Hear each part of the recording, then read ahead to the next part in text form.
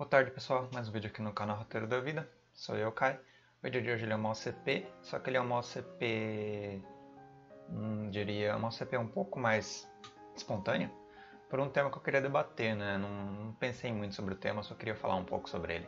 Uh, o tema nada mais é do que quem quer achar buraco em peneira encontra, simples assim. É um tema bem estúpido na verdade, né? Eu queria explicar um pouco o que significa esse tema, por que eu quero falar sobre esse tema, né? Porque é SOCP, né? SOCP, ela nada mais é do que pensar é, exatamente o tema, né? É, quem quer encontrar buraco em peneira, encontra. O que isso quer dizer? Então, é, por exemplo, quando você está querendo alguma coisa, tem uma expectativa sobre alguma coisa, você quer materializar a coisa. Só que se você tem uma maçã, você não pode pensar e desejar que ela seja uma laranja. Ou se você tem uma caneta, você não pode desejar e querer que ela seja um lápis. Se você tem um certo livro, você não pode desejar e querer que ele seja outro livro. Se você tem um certo anime, você não pode desejar e querer que ele seja um outro anime. E se ele é de um modo, entendeu? Se você tem, por exemplo, um pomar e tem 30 laranjas no pomar, no, na sua árvore. Cada laranja é única. Cada laranja tem um tamanho, tem um gosto, tem uma forma e tem uma utilidade e uma consequência específica, uma direção, né, um, um futuro para ela. Tem um objetivo e um propósito único para ela. E ela tem um significado no todo. Uh, não interessa se você gosta da laranja ou não, se você acha que ela é feia ou não, se ela está podre ou não. Ela tem utilidade e funcionalidade e ela está inserida dentro da, da cadeia das coisas. Ponto. Agora, aí é a pegada. Se você quer que ela seja outra coisa, se você nega ela pela sua existência, se você nega ela pelo que ela é, não faz diferença. Porque ela continua sendo. E ela continua tendo as qualidades que ela continua tendo. E você, por exemplo, pode. Imagina coisas científicas, tipo, ah, não dou valor para essa coisa, não dou valor para essa obra. Mas você está analisando por um ângulo apenas, um ângulo mais superficial. Tipo, você pode fazer suco da laranja. Ela pode estar com a casca danificada, ela pode não ter as qualidades que você gostaria que ela tivesse, mas ela ainda tem qualidades que se você for ali. É, é do mesmo contrário também. Se você quiser dar criticar a coisa, procurar furo na coisa. Esse é um OCP que junta a, o, a OCP da qualidade, do valor, a da inflação, a da crítica, né? Essas são mais voltadas para o modo de leitura do, do, de obras, né? Leitura da vida, leitura das coisas. E essa pegada de você querer que a coisa tenha defeitos, ela vai ter defeitos. Se você quiser encontrar defeitos numa coisa, ela vai ter defeitos. Se você pegar a pessoa mais bonita do mundo ou, ou a coisa mais perfeita do mundo, e se você quiser identificar defeitos nela, você identifica defeitos. É fácil, porque é só criar defeitos. É só botar em ascensão, né? trazer para a tona, né? É, pôr na superfície das coisas. É a mesma coisa qualidades. A gente pode fazer eh, o pior filme do mundo ser o melhor filme do mundo. E não duvide disso. Uh, porque essas coisas não são essencializadas, elas não são objetificadas e elas não, não é como se essas coisas fossem isso de fato, elas são tornadas isso, entende? Elas são transformadas numas, nas coisas. Então é muito factível e tudo bem, vai contra o senso comum, vai contra o senso comum vai contra as regras e lastros sociais, os afetos sociais, vai contra os afetos sociais. É uma opinião que vai ter uma autoridade definitiva, que vai ser autoritária? Sim, vai ser. Mas toda qualidade, todo julgamento sobre a realidade tem a mesma natureza. Não importa se você está fazendo um julgamento sobre o melhor filme do mundo ou sobre o pior filme do mundo, ambos são vazios. Entende? Então, o ponto central é como fazer uh, um debate, uma troca de ideias, sempre tendo consciência e sempre estando esclarecido desse vazio. E a partir desse, dessa consciência, debater as coisas de maneira funcional, divertida e tal, mas nunca querendo ser, ser a palavra final, sabe? Ser o cara que define o que é o melhor ou o pior, ou o que é o certo ou o errado, ou que é o melhor filme ou o pior filme, ou qualquer coisa relativa a isso. Então, se você quiser encontrar defeitos em outras obras para que elas não sejam aquilo que você quer que elas sejam, você encontra. Se você quiser encontrar qualidades nas obras para que elas sejam aquilo que você quer que elas sejam, você encontra. Se você quiser é, fazer, é, aqui a gente não está falando laranja, mas é, quiser fazer determinados produtos, determinadas análises, determinados argumentos, você consegue A história da filosofia está aí para isso. A gente fez um monte de alucinações materializadas, um monte de delírios materializados. Então, é não só factível, quanto extremamente funcional, quanto real mesmo, a gente fazer isso.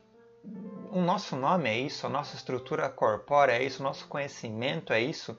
Quem diria os produtos que a gente produz no meio, quem diria as obras que a gente é, materializa também, né? A gente cria, a gente interage. Tudo é uma espécie de, de, de patamar assim de, de, de, respaldo, né? De patamar de sustentação com N pilares. Esses N pilares nada mais são também sustentados por N pilares, e todos os pilares se autossustentam. Então a coisa fica meio que. Não é um que sustenta o outro. As duas coisas se sustentam ao mesmo tempo. E se duas coisas se sustentam ao mesmo tempo, não são pilar de verdade. Entende isso? É complicado dizer que um pilar sustenta, não tem uma anterioridade e uma posterioridade. Tem uma imediaticidade conjunta das duas coisas ao mesmo tempo que, por estarem em relação ao mesmo tempo, sustentam uma a outra. Você não pensa no branco sem o preto, você não pensa na laranja sem a maçã, você não pensa no, na obra sem a outra obra. Porque se você não tiver um grau de referência, você não consegue fazer julgamento. Entendeu? Como é que você vai fazer o julgamento do, do, único filme que existe no mundo? Se existisse um único filme no mundo, é, como é que se qualificaria ele? Não tem como, não tem patamar de qualificação. Não tem referência de qualificação. E a partir do momento que você tem milhões de filmes, não faz diferença a qualificação que você faz, todos eles são plenos, ou todas as obras são plenas, no sentido de elas serem, ou seja, elas estão ali no pomar, né, como as 30 maçã, as 30 laranja que eu falei antes, estão ali dentro do pomar de filmes, uh, cada uma com seu formato, cada uma com seu gosto, a gente debate sutilezas fúteis do nosso cotidiano, porque é fútil, a interação humana é fútil, é, é necessariamente vazia, é necessariamente transformativa e efêmera. E a longo prazo, na, na, na existência mais ampla mesmo, na existência no universo, é um piscar de olhos, é um estalar de dedos e é um baralho, é um castelo de cartas. Entende? Então, tá, tudo bem. Você quer, você quer achar buraco em peneira, você vai achar buraco em peneira. Você quer criticar a obra, você vai criticar a obra. Se a obra você não quer gostar dela, você não vai gostar dela. Se você quer não, não gostar dela porque ela não é a outra obra, você não vai gostar dela porque ela não é a outra obra. E ponto final. E a obra tá pouco se fudendo, porque ou a coisa que você está jogando está pouco se fudendo, porque ela existe. Entendeu? Tudo bem, você chega e fala, ah, eu não quero essa pedra, eu vou jogar essa pedra aqui no cantinho escuro e deixar, deixar o resto da existência no cantinho escuro. Não interessa, ela já existiu, ela já causou seu ciclo de consequências, ela está no meio. Ela é um dominó dentro dos dominós. Entendeu? Ela está dentro do universo. E o ponto é, se você falar, ah, eu vou apreciar outras e outras obras porque é, eu acho melhor é, ter esse, essa carta de baralho, esse baralho na mão, né? ter esses esse know-how de, de episteme na mão, porque assim eu me torno um, melhor, um ser melhor, um humano melhor, porque eu conheço coisas melhores. Bullshit, não conhece porra nenhuma melhor, porque tudo que você está fazendo tem um valor equivalente, são pilares que sustentam pilares. É como eu falei, um sustenta o outro, não tem um superior.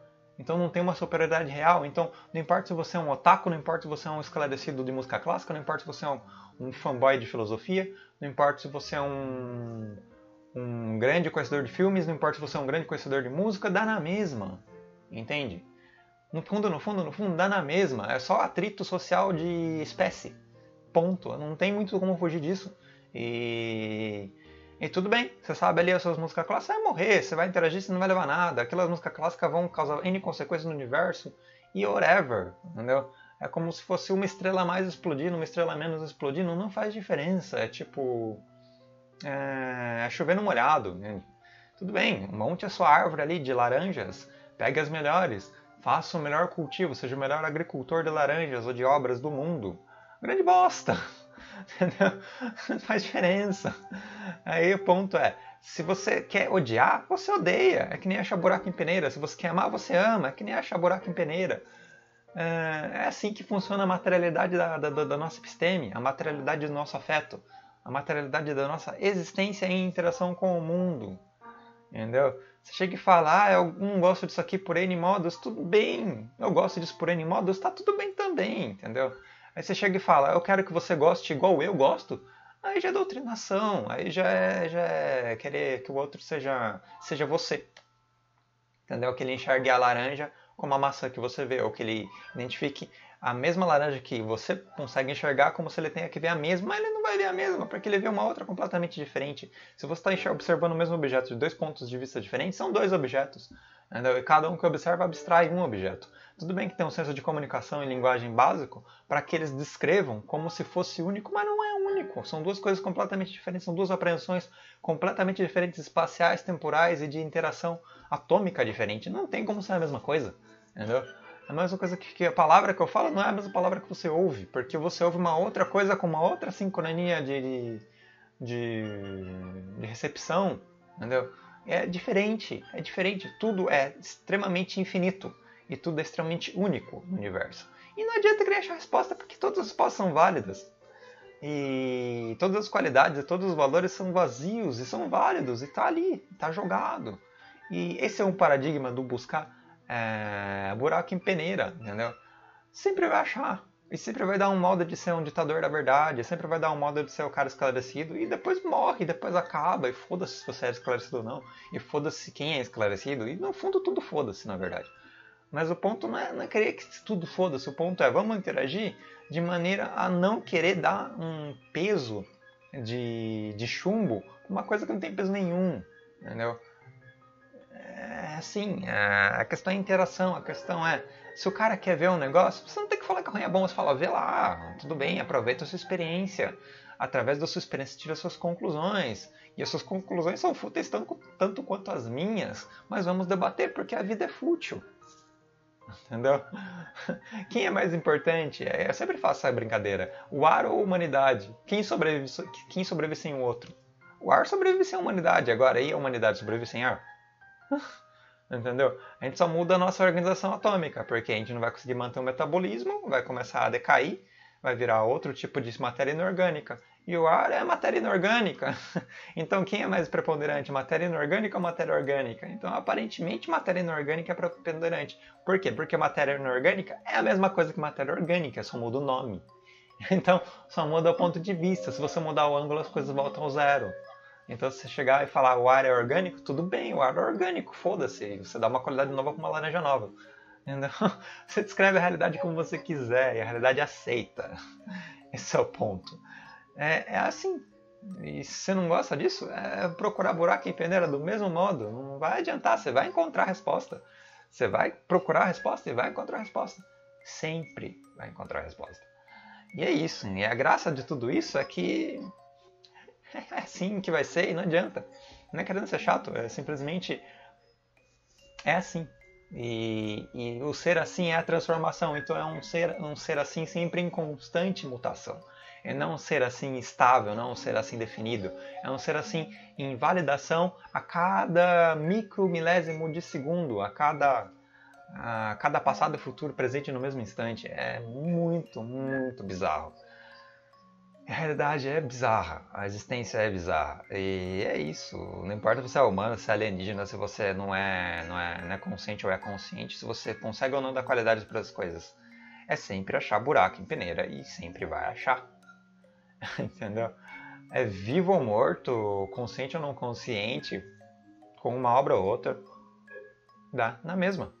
Entendeu? Uh, eleger pilares de sustentação da cultura tanto faz. Falar japonês, falar chinês, falar português, fazer número grego, número romano, ou fazer conta como a álgebra aritmética ou álgebra.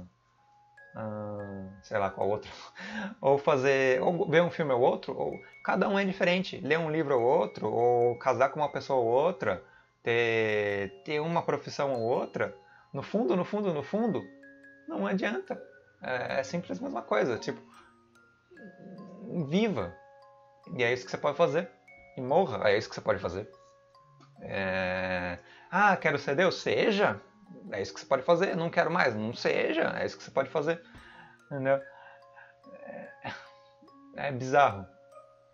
Eu sei que isso é estranho. Eu sei que eu sou estranho. Eu sei que o modo como eu penso é complicado. Mas. Ah, não, não tem nada de especial. Nem em mim, nem em ninguém. E eu não tô querendo dizer que eu tô sabendo a verdade, porque não tem verdade. É só putaria social, putaria de, de quem quer ganhar o, o pepino do dia, ou quem quer, quer, ser, quer ser o rei do, do momento, dá na mesma. Rei, plebeu, entendeu? Sofrimento, alegria, tudo bem, é complicado, é complicado. A gente tem esses patamares afetivos da existência, tem patamares afetivos na existência onde a gente qualifica e abraça certas regras para as coisas funcionarem com uma certa direção, uma certa harmonia e serem certas coisas. Tudo bem, acontece. Mas se fossem outras, e elas são outras, em outras pessoas, em outros momentos, tempos históricos ou espaciais, e elas são outras em outras possibilidades imaginativas ou reais, e elas sempre são outras, e esses outros existem e não são você, e eles existem como eles são, e eles são plenos como eles são, e dane-se. Entendeu? E é assim mesmo. Quer buscar justiça, ideal e razão? Busque, você vai encontrar como buraco em peneira. Quer buscar crítica sobre essas coisas? Busque, você vai encontrar como buraco em peneira. E tudo que você buscar na realidade você vai encontrar. Porque a gente é feito para encontrar. Nossa sincronia com o ambiente é feito para encontrar. Gente consegue. Todas as nossas potências são potências assim, não, não são pilares, são potências respaldadas, niveladas em zero. Por quê? Porque todas elas são dependentes do contexto, dependentes do meio.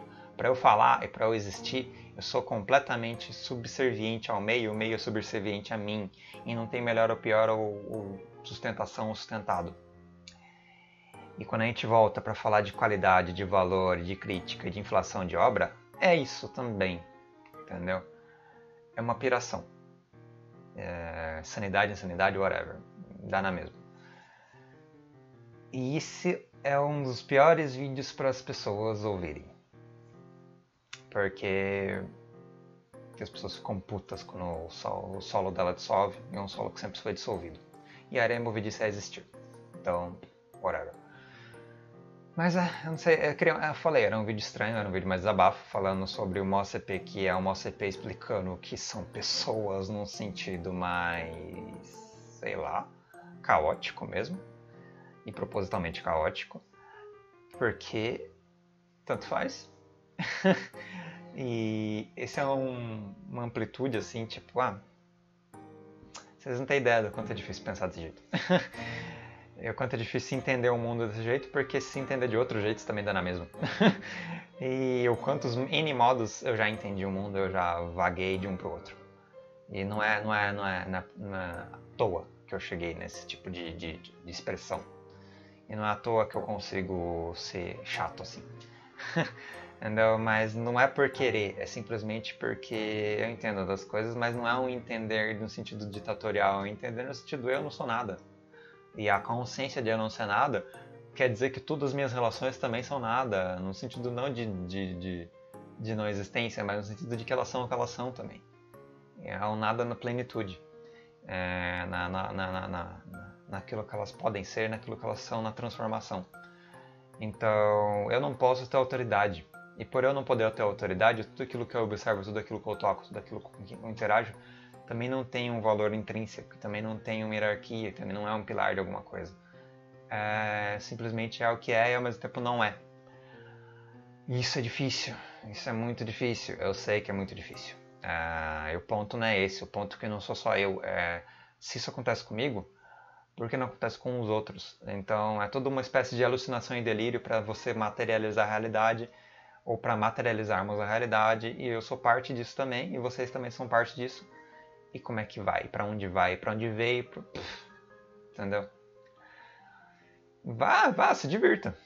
Se divirta, mate um dos outros, seja rei, dê a realidade, transforme as coisas, dê valor, fale que filme é melhor que o outro, fale que uma laranja é melhor que o outro. entendeu? Vá até o infinito e além e boas, boa sorte.